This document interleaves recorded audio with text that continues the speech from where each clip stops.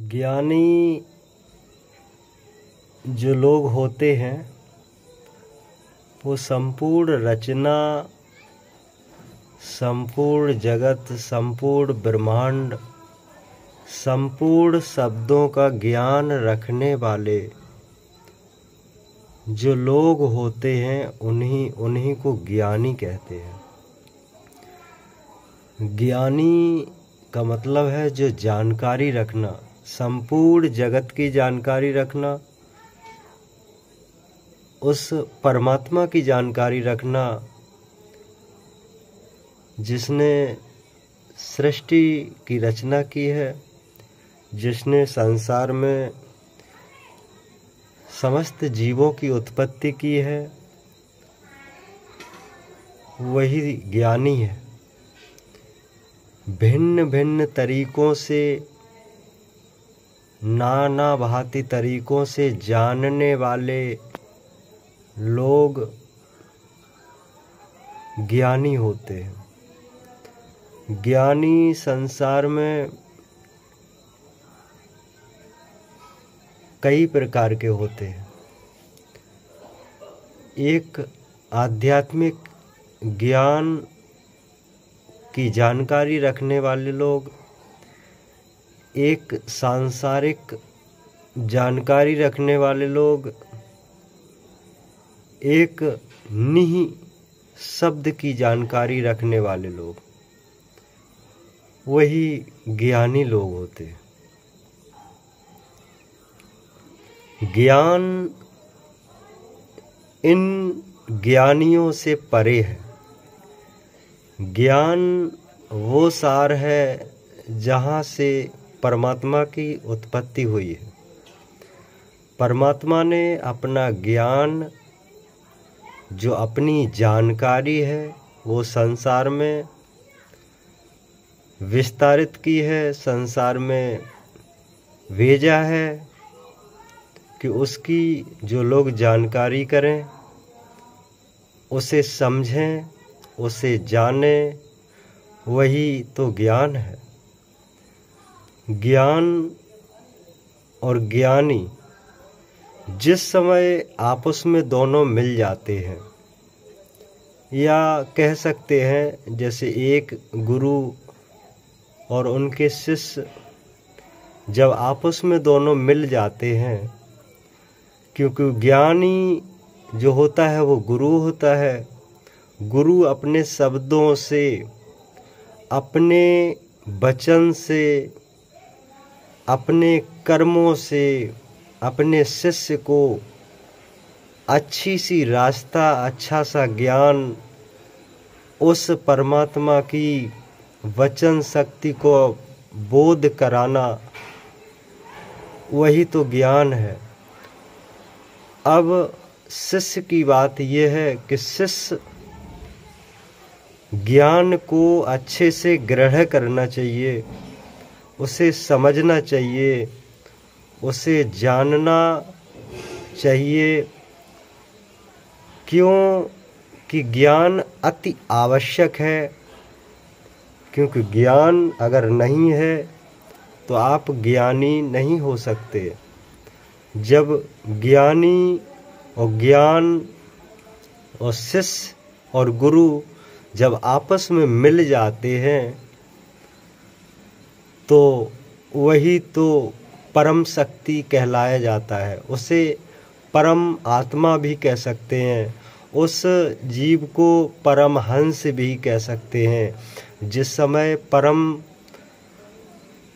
गुरु और परम शिष्य दोनों एक साथ आपस में मिल जाए जिस समय तो वही परमात्मा का रूप उनका हो जाता है। यही सत्य ज्ञान है और यही सत्य ज्ञानी है।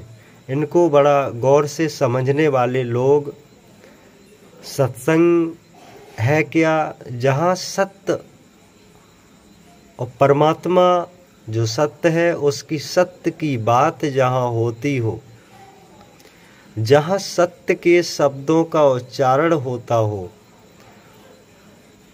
वही तो परमात्मा है।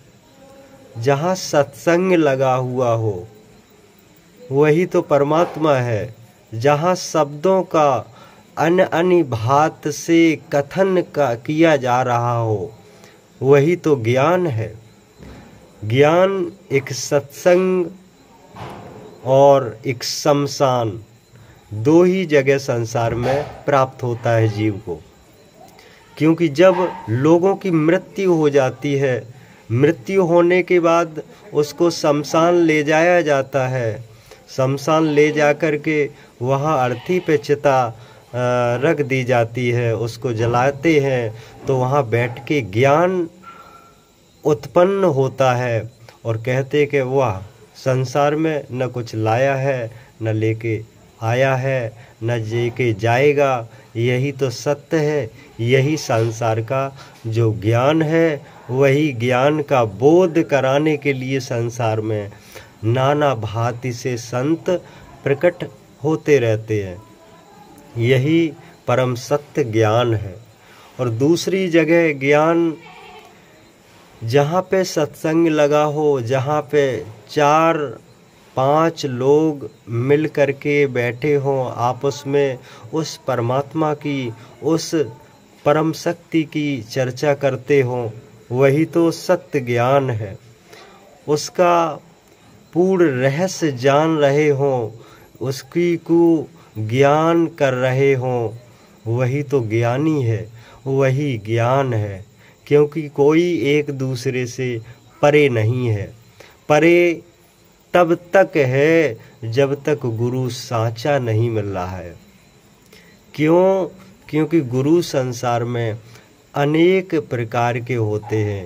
कोई रास्ता हमें पास की बताने वाला है तो कोई हमें दूर की बताने वाला है, कोई हमें बीच की बताने वाला है। इन तीन रास्ताओं वाले जो लोग मिलते हैं, जीव मिलते हैं, वही तो गुरु हैं, लेकिन आपकी समझ से परे हैं। किस प्रकार का संसार में आपको गुरु चाहिए, वैसी अपनी जगह निश्चित कीजिए। कि हमें गुरु कहाँ मिलेगा, कैसा मिलेगा? गुरु के प्रति आस्था रखें, उसके प्रति ठोस कदम बरकरार रखें। हमेशा हौसला बुलंद रखें, हमेशा उस परमात्मा के प्रति आस्था रखें कि हे परमात्मा, हे जगत गुरु हे कल्याणकार की, हमें वो मार्ग दीजिए जिससे हमें वो शब्द, वो ज्ञान प्राप्त हो, जिससे संसार में मोक्ष की प्राप्ति हो। यही ज्ञान है, यही ज्ञानी है, यही परम सत्य है। कहा, कोटन गुरु संसार में सबसे मुक्ता न होए और एक जाप सतनाम का सो जाने बिरला कोई। इस संसार में कोटन गुरु है, लेकिन परम सत्य को जानने वाला गुरु सिर्फ़ एक ही है। अब उसको खोजना, उसके विश्वास करना, उसके प्रति उसको ढूंढना, वो आपकी आत्मा का खेल है, उसको हम किस प्रकार से संसार में समझें, किस प्रकार से जानें, किस प्रकार से उसको खोजें? क्योंकि रूप बेस रंगत से परे ज्ञानी गुरु होए, ऐसा शब्द दे धरे जो शब्द विदेही होए। क्योंकि वो गुरु इस संसार में नहीं तो रूप में होगा न रंग में होगा, न भेष में होगा, न इस भूसा में होगा। अब उसको खोजना बहुत ही मुश्किल है, जो साचा गुरु संसार में है। लेकिन जब तक आपकी आस्था मज़बूत है, बरकरार है, उस परमात्मा के प्रति, उस सतगुरु के प्रति, उस गुरु के प्रति तो आपको अवश्य मिलेगा अवश्य मिलेगा। यही सत्संग ज्ञान है। निर्मल सत्संग ज्ञान आप लोगों तक पहुँचाने का हमारा परम कर्तव्य है। क्योंकि हम आपको आस्था के प्रति जोड़ने का अवसर प्रदान कर रहे हैं। भगवान आपको उस ज्ञान की अनुभूति प्राप्ति कराए, जिससे आपका कल्याण होगा, जनहित कल्याण भी होगा और आपका सामाजिक और समाज में आपका भला होगा। आप बुराइयों से दूर रहें, सदा सत्य के मार्ग पर चले जाएँ।